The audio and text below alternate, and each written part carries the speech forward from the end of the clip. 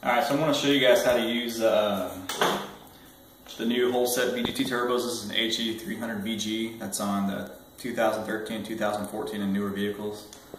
Uh, as you can see, it's a little bit different than uh, the 351s. So what I'm going to do is demonstrate how to actually use a 351 turbo with uh, HE300VG.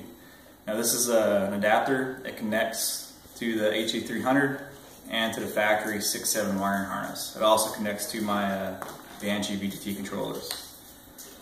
So as you guys can see here, using my Banshee controller, the actuator works. And what we're going to do is pull this actuator off, swap this out, and then actually kind of a workaround to recalibrate the actuator to the turbo. Ideally, you guys would want to use the actual software like INSITE or another Cummins software. And there's a couple aftermarket ones you can buy. Um, sadly, not everyone has one of them, so this is a way that you can still do it and it works. So right now we're going to pretend this is broke. So what you would do is disconnect it from the vehicle. And then remove it.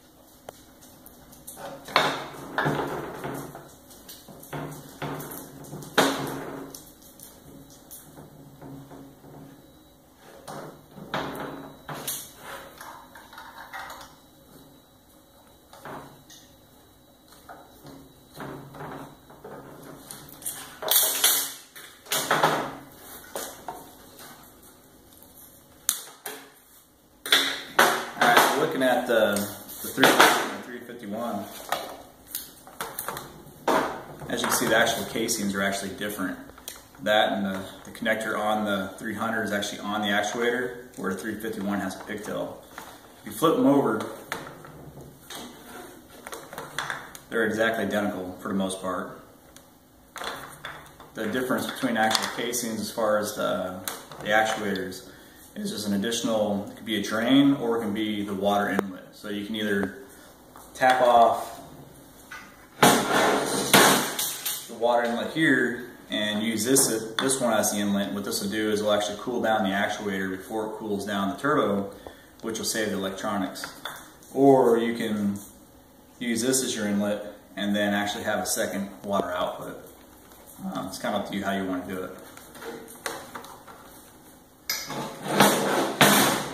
Now, if you pull the actuators off the turbo and you get ready to actually reconnect these, um, if you have my controller, you're actually going to want to turn the truck on, or turn a key on the ignition, um, let the truck be off, but all you're doing is actually powering all electronics. And you're going to disconnect my controller. So what that'll do is it'll actually power the wiring harness, but it won't um, power the, uh, the controller. If you have a, a Cummins, what you're going to want to do, like the actual ECU, is actually disconnect the ECU. So go onto the side of the block, and remove the connector and do the same thing. So just put the key in, turn the key on, power up everything without actually cranking on the motor.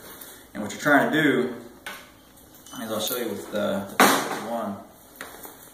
Try to zoom in on that. Is the gear inside the 351 is actually going to rotate about 360 degrees. And what it's doing is it's spinning around, it's going to an index position. So once it's there, you leave it connected, leave it powered on, slap it on a turbo. And when you get to the turbo, as you got the actual gear, what you're going to want to do is the turbo will be mounted in this position. You're going to turn it counterclockwise as far as it'll go. You should be able to do it with just your thumb. You don't have to get on there and crank on it. As soon as you get all the way counterclockwise, the sliding wall should be all the way in, and that's your starting position for when you put everything back on. So using the 300 VG, I'm going to do the same thing. I'm going to take my adapter, I'm going to connect it. Uh, 300 VG doesn't move as much as the 351, and it also depends where it's at in the alignment. So if it's far off, it's going to move a decent amount, but if it's right where it should be, you might just barely see it move. Like there, it barely did anything. But once you have that on, while keeping uh, everything connected, make sure that the wall's all the way in, so you turn it counterclockwise.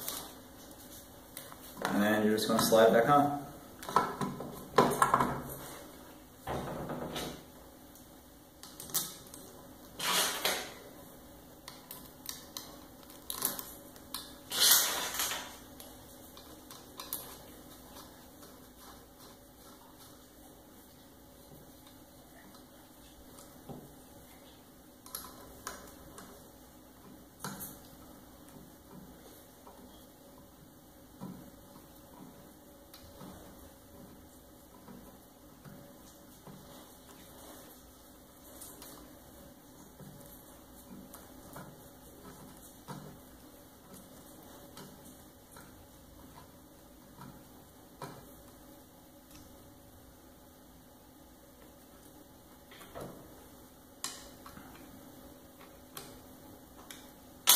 Now once you get this back on, you're going to want to cycle the power. So for your, if you if you have a Cummins 24 valve common or whatever you have, or even a 6.7, all you're going to do is turn the key off. But mine says I'm going to just disconnect from here, which then kills my power.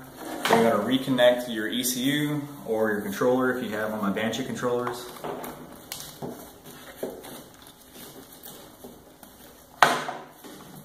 And then you're going to reconnect it, reconnect the turbo. Now it's indexed correctly. Um, I know this works. I used, uh, I monitored the CAN bus. I actually can send the commands to actually calibrate it with my laptop.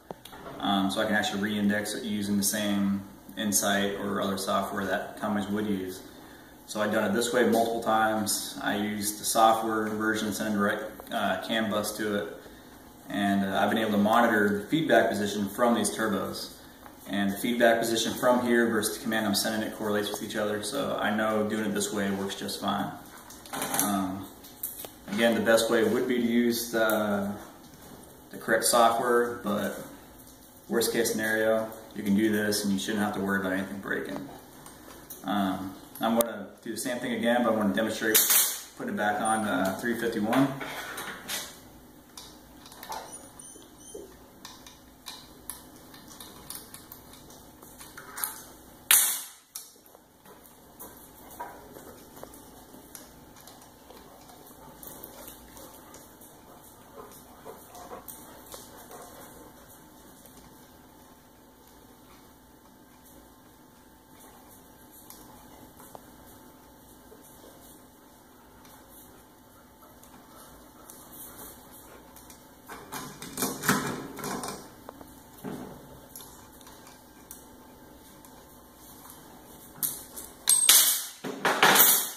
Again, if you're going to swap uh, swap your actuators, you're going to disconnect your ECU.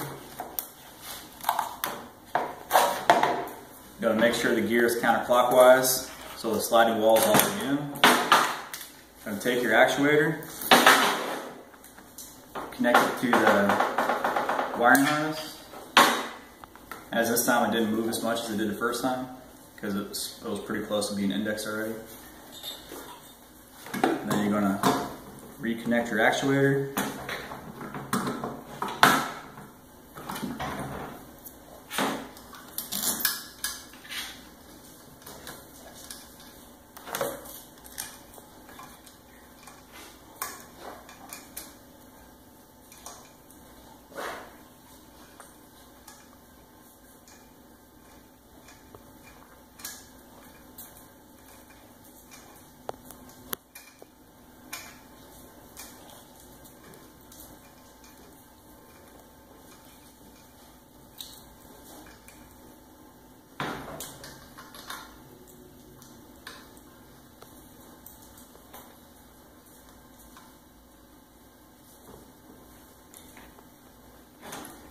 You got this back on, then you got to cycle your power. And what it is is the, uh, when you first connected it and the index itself, the controller is no longer going to respond. So if you had everything connected and did that, and you try to send commands to it with my controller, it's not going to move. So once you have the power off, then you're going to reconnect the controller or reconnect your ECU.